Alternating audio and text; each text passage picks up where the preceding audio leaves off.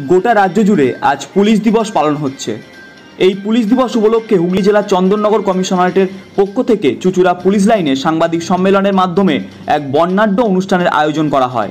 উপস্থিত ছিলেন Chandannagar police commissioner Humayun Kabir, মন্ত্রী তপন দাশগুপ্ত বিধায়ক অসীম মজুমদার, বিশিষ্ট পুলিশ আধিকারিক সহ অন্যান্যরা।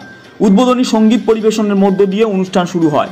উপস্থিত সকলকে বরণ করে নেওয়ার পর করোনা চলাকালীন যেসব মানুষ রাস্তায় নেমে কাজ করে চলেছেন, সেই সব মানুষদেরও সম্মান জানানো হয় পুলিশ কমিশনারেটের পক্ষ থেকে। এছাড়াও স্বেচ্ছাসেবী সংস্থার থেকেও আরও দুজনকে সংবর্ধনা দেওয়া হয়।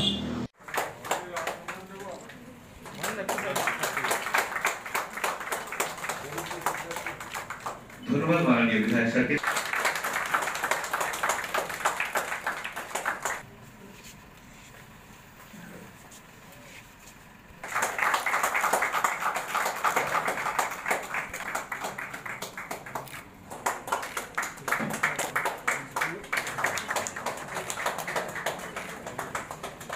কিন্তু হুগলি জেলায় সে হয়তো লক লকডাউন যেভাবে ছিল, সেইভাবে লকডাউন এখন ইমপ্লিমেন্ট হচ্ছে। যেদিন যেদিন লকডাউন হচ্ছে, সেভাবে ইমপ্লিমেন্টেশন হচ্ছে। আনলক প্রসেস চলছে।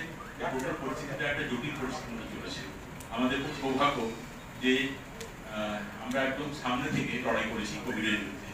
যারা একদম ফ্রন্ট লাইনার ছিলেন, তাদের মধ্যে যেমন ডাক্তারবাবুরা রয়েছেন, স্বাস্থ্যকর্মীরা রয়েছেন, নার্সরা রয়েছেন আশা কর্মীরা রয়েছেন, তেমনি পুলিশও একটা নাম মানুষের সম্মানের সঙ্গে উচ্চারণ করে এদিকে পুলিশ ফ্রন্ট লাইনে এসেছে কোভিড যুদ্ধে তো সিভিল ডিপার্টমেন্ট ছিল তার মধ্যে ছিলেন আমরা বহু মাইন্ডেড লেবার এখানে এসেছে আপনারা জানেন প্যান্ডেল রানপুর হুগলি থেকে মনতোষ চৌধুরীর প্রতিবেদন নিউজ বাংলা টুডে